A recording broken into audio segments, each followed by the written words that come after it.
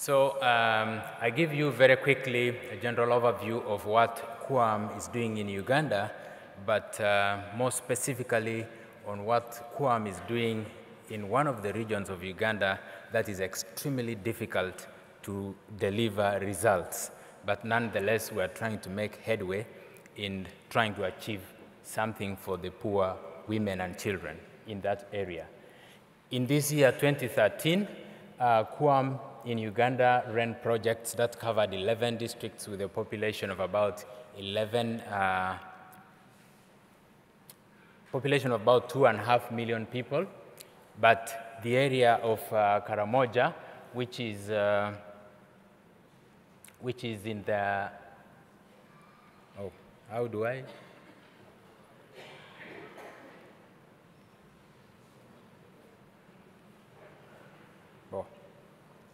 This is not working. Go back a bit. Devi solo dire next quando vuoi cambiare. Indietro allora adesso. Yes. You must say next. Okay. So can you go back a little bit? Just go back a little bit. Yes. So that area in the northeast is um, where we have the highest concentration of effort right now in Uganda. Next slide. We are having a basic health system framework in trying to address the health system problems in Uganda and especially in that northeastern region that is looking at all the aspects that start with governance, leadership, management, supplies, finance, human resource, and so on. So this is the framework in which we are working and try to achieve uh, results and impact through it. Next slide. So the main areas of our project are in health management capacity building because we realize that even with the little resources that are there, we can achieve a lot if they are managed very well. So we are working very hard with the district local governments to improve the management capacity of the local district health systems. And we are, this year, we are having a very intense activity in trying to improve maternal and child health. And we are in the area of HIV AIDS, particularly the prevention of mother to child transmission of HIV. And the Cuamm right now is the lead implementing partner in the whole of Northeastern region uh, in Uganda in a partnership that is contributed by UN agencies and also um, the US government uh, PEPFAR funds uh, providing support. We are also uh, strongly supporting health training, both through scholarships and supporting training schools uh, directly. Cuamm and UNICEF in Karamoja initially started work together because of the support from the Italian Ministry of Foreign Affairs, or MAE, but since then we have established an independent partnership with UNICEF and are trying to do a lot and reaching people in many ways in seven districts in northeastern region with a population of 1.4 million people. And we are working with 112 health facilities. Five of them are hospitals and 1434 villages. Next slide. Karamoja and Cuamm are buddies for a long time. They it has been uh, since the early 1970s um, when uh, especially Dr. and Mrs. Rowe, who is here, uh, started uh, work in Matanya Hospital. Cuamm has continuously been in Karamoja since then, and Matanya has been the main base. But it has really grown, and Cuamm has grown with the hospital.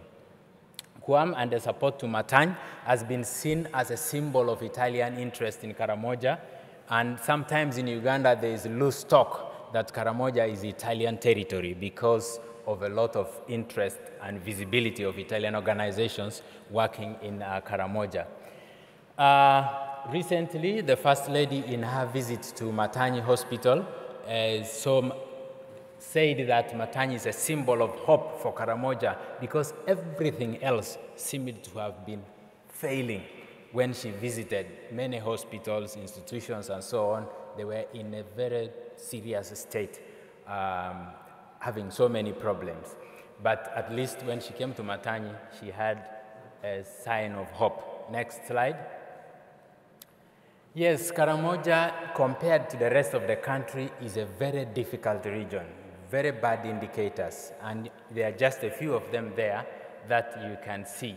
The life expectancy is almost, um, almost four years um, less than the national one. Uh, the population living below the poverty line is almost 76%. That is living on $1 a day.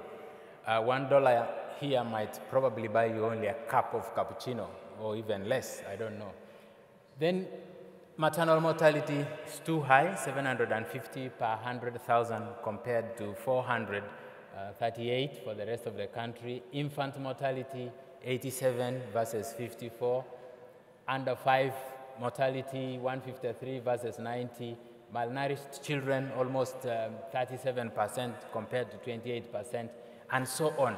These are very, very bad indicators, and so it is really showing you how badly off the region that is the concentration of work is compared to the rest of the country.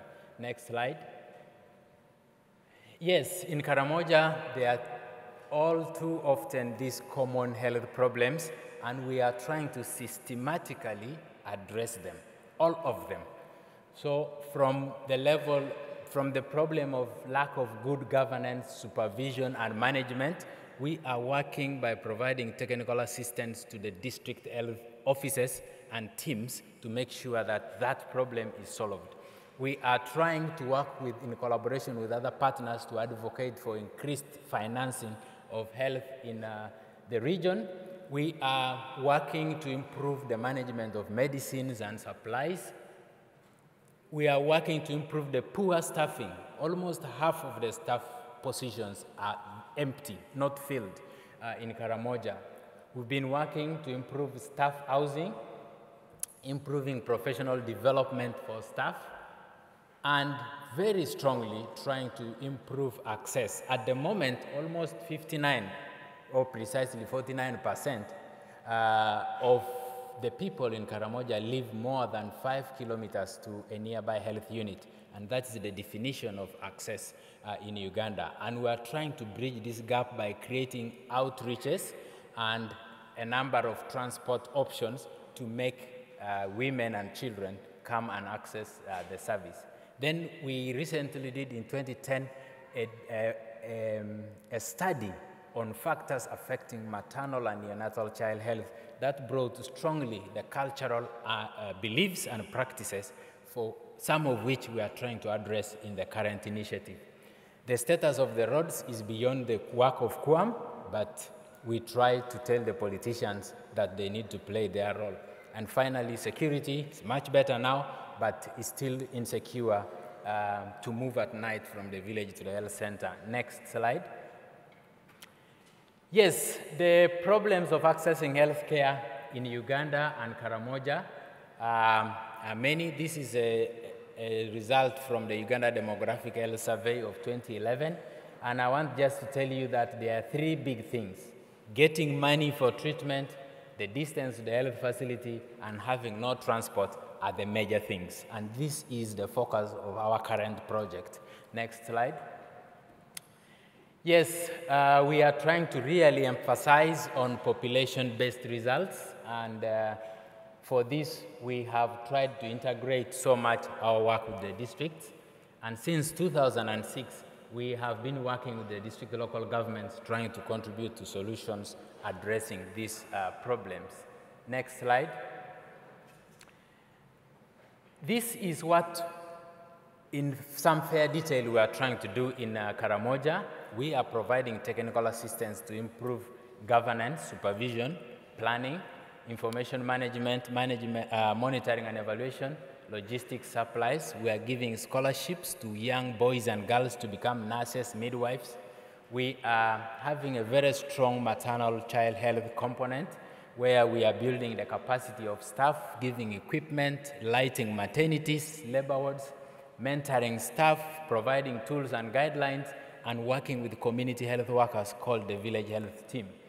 And there are new innovations. We are trying to introduce transport vouchers so that mothers can freely travel to deliver in a health unit. We are trying to give an incentive, a gift to the mother uh, so that she can be attracted to come and deliver. And we're using a new uh, birth cushion where mothers can deliver while squatting and a number of cultural adaptation practices. Then we are trying to eliminate the transmission of HIV to neonates. And finally, we are giving nutrition technical assistance. Uh, next slide. Next slide. So this is, this is uh, part of our work in pictures, mothers happily delivering uh, babies. Next slide. This is the first cesarean section in a health center that had not been operational since it was built. But in 2008, this was the first cesarean section in that health center that is now having almost 20 deliveries, uh, rather 20 cesarean sections every three months. Next slide. Yes, Cuamm is strongly trying to have outreach services for people who are very far, as you can see. Next slide.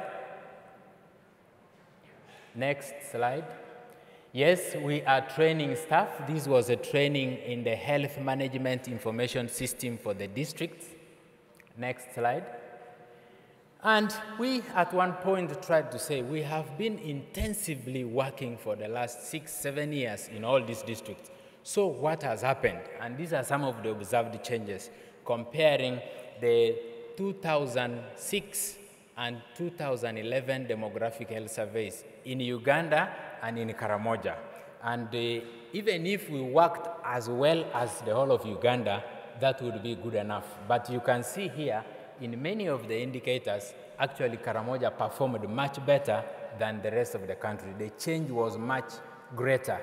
As you can see, um, in skilled birth, antenatal, diarrheal disease treatment, the, the, the, the purple and green are, are, the graphs of Karamoja. So the changes in those two years, uh, in those two periods, are very, very significant. And for most of those indicators, Karamoja has gone beyond the national average.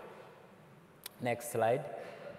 Looking at deliveries alone, this is the, the trend that has happened since we started in 2006 December until last year, 2012, 2013, we have pulled the deliveries in health units from 8.3% to 19%. Because the population is rising, in actual number of deliveries, they have jumped from 3,500 to um, 12,673 in the last financial year. And I think this is something commendable. Next slide. And uh, as I told you, in the last, in this year, this is the first year of a much more intense activity of maternal uh, and child uh, support. So looking at just the three quarters, January, March, April, June, and July, September, this is what is happening. And we are really happy that even in the first year, we are seeing such a tremendous change, and we are definitely going to achieve our project target. Some districts actually doubled their, their deliveries in just a period of one quarter. And uh, we really believe that we shall achieve what we want to achieve. Next slide. I think that is the end. So thank you very much for listening to me. I hope. Uh,